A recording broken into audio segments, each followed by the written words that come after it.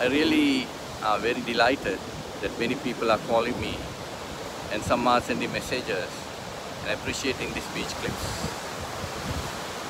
I feel very happy and satisfied that I'm touching few people. Reminded me recently of that patient of 8 years old in London.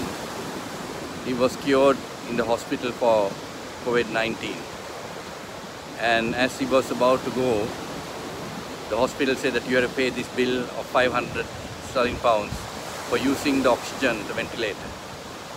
Immediately he started crying. Then they asked him, you don't have money to pay? No, no, he said, no, I have money to pay, I can pay it immediately. But I am crying because for the last 80 years, I've been using oxygen free of charge from the creator and I've not been paying for anything for him. And that's what I'm crying. And sometimes we feel there are certain things in life that come to free to us absolutely wonderful.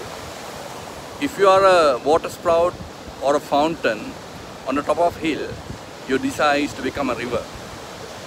By virtue of being a river, you float to the ocean going through a long journey.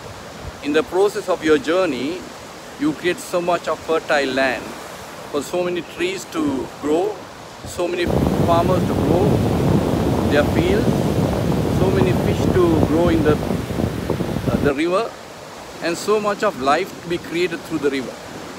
The river flows to the ocean, breaking all the barriers, all the obstacles. When they face obstacles, you go over the obstacles or you go around, but you go to the destination. The river has an identity as an individual river, but when it reaches the ocean, when it gets connected to the ocean, he loses the identity, he becomes a part of the ocean, the river. So in the process of our lives, if we are a fountain or a water sprout rising from the top of a hill, our desire should be to become a river, to touch lives, and to bring energy, and bring some sort of a revival to the people around us. And if you feel that, and you join the vast ocean, and become your glorious entity thereafter. Ladies and gentlemen, if you don't care who get the credit, we can do many things that can touch the society.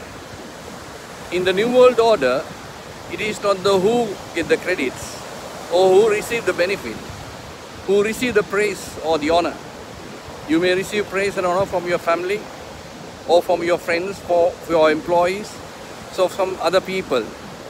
But in the New World Order, there are millions of people that could benefit by your virtues and they are unseen and unheard and their life are touched.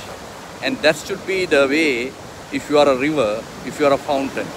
But if you are a water tank, it is only benefit few people for a short time. Be a fountain, be a river to touch lives.